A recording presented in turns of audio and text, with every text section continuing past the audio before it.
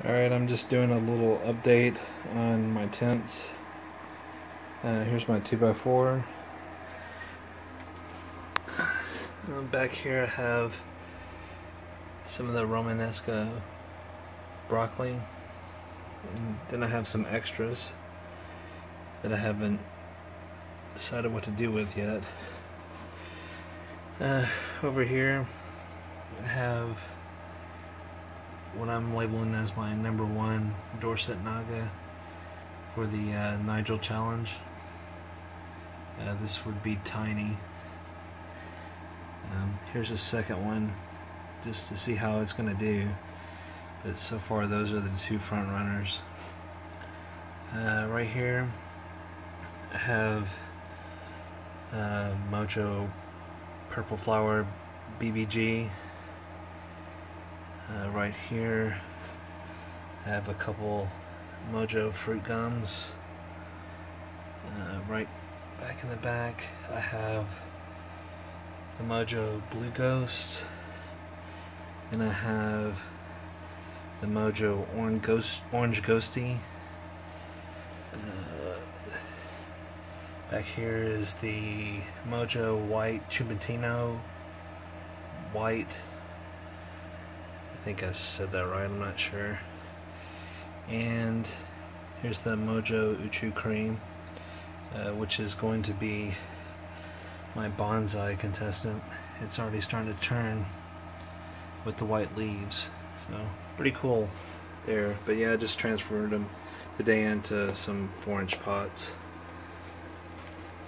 And, and over here my 4x8 I still have just uh, some veggies as have some various lettuce. It's doing really well since I put the 600 in here. And they moved out of the 2x4 so they've been doing great. Looking really good.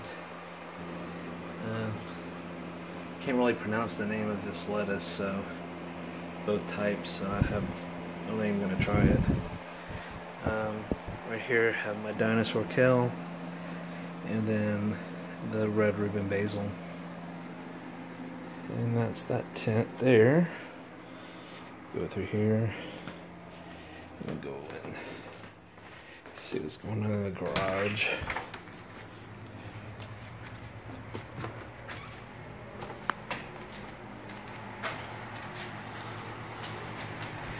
Uh, we have the white ghost. Doing well.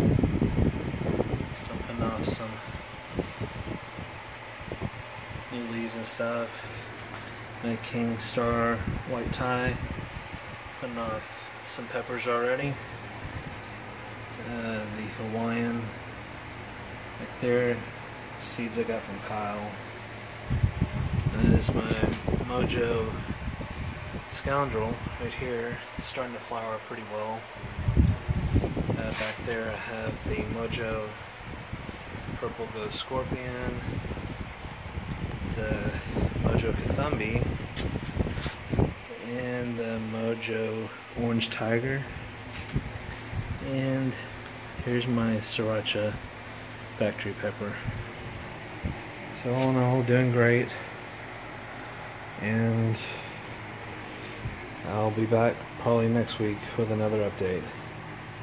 Alright, talk to you guys later.